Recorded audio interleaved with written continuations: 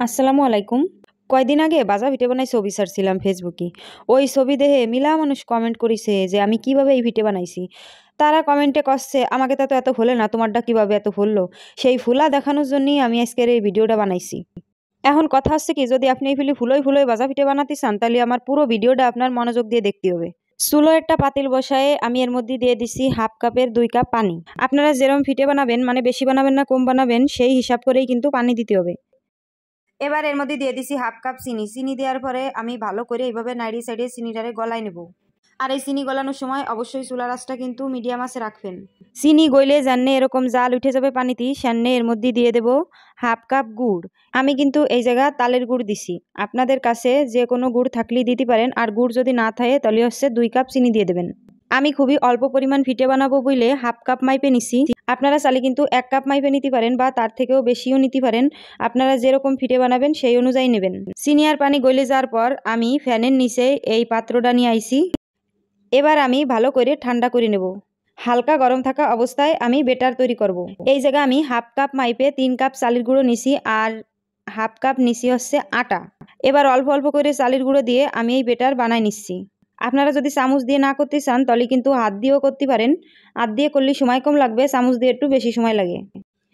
আমার এই বিটার তৈরি করা মন দিয়ে দেখবেন, তাহলেই আপনাদের ফিটাও অনেক ফলবে। এই গুলানো যদি ঠিকমতো না হয়, তাহলে কিন্তু ফিটে ফলবে না।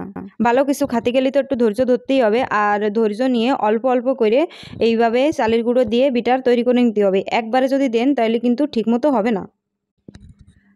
আমি এবার সব চালের গুঁড়ো দিয়ে দিছি এর মধ্যে এবার হয়তো আমার বিটার তৈরি করা ঠিকমতো হয়ে যাবে।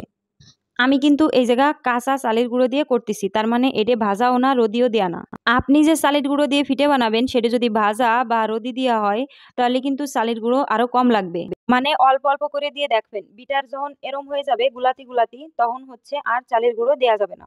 ভালো মতন দেখেন আমি এই বিটার কীভাবে তৈরি করছি। এই জিনিসটা খেয়াল করে যদি আপনারা এইভাবে ফিটে বানান, অবশ্যই আপনাদের ফিটেও এইভাবে ফুলবে। এনে এইগুলা আমি একটা স্টিলের গিলাসে ডাইলে নিচ্ছি। স্টিলের গিলাসে ডাইলে ডাইলে ফিটে বানাতে কিন্তু অনেক ভালো হয়। চুলোটা মিডিয়াম আছে দরাই দিয়ে, এর মধ্যে একটা কড়ইতি পরিমাণ মতো তেল দিয়ে গরম করে নিচ্ছি। এরপর আমি গিলাস এতে পরিমাণ মতো বিটার দিয়ে দিচ্ছি। আপনারা ফিটের সাইজটা যেরম বানাতে চান, সেরমভাবে কিন্তু এই গুলাটা দেবেন। বড় বানাতে চালি বেশি করে দেবেন, ছোট বানাতে চালি কম করে দেবেন। আমি মিডিয়াম বানাচ্ছি এই জন্যই মিডিয়ামভাবেই দিছি। দেখেন কত সুন্দর ফলছে ফিটেটা আপনাকে আর একটা কথা কই, শোনেন।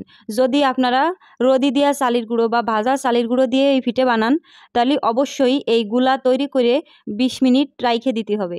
তা না হলে কিন্তু ফিটে ফলবে না। আর যদি কাঁচা গুঁড়ো দিয়ে বানান, তাহলে কিন্তু সাথে সাথে বানাতে পারবেন। আমি কাঁচা চালের গুঁড়ো দিয়ে বানাইছি এই জন্যে আমার আর ওই বিশ ত্রিশ মিনিট রাইখে দেওয়ার প্রয়োজন পড়ি নাই, সাথে সাথেই বাজা শুরু করছি। খেয়াল করে দেখেন, প্রতিটা ফিটেই কিন্তু খুব সুন্দরভাবে ফুলতিছে। আমার এই সম্পূর্ণ ভিডিও যদি আপনারা খেয়াল করে দেখেন আর এইভাবে ফিটে বানান, তাহলে এইভাবেই আপনাদের ফিটেও ফুলবে।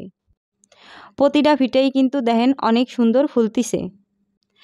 আপনার আমার দর্শক, কত কষ্ট করে আমার ভিডিওটা দেখেন ধৈর্য নিয়ে। আপনাকে কথা কি না রাখে পারি? সবগুলো ফিটে বানাই নিয়ে আমি এই যে একটা মনোরম পরিবেশে নিয়ে আইছি, যাতে আপনাকে খাতি লোভ লাগে আর বাসায় বানাতে বসে যান। এই রেসিপি অবশ্যই আপনারা বাসায় চেষ্টা করে দেখবেন। আর কেমন হলো আমারে কমেন্ট করে জানাবেন। আজকে আর বেশি বকবক করব না, আমি এখন যাই।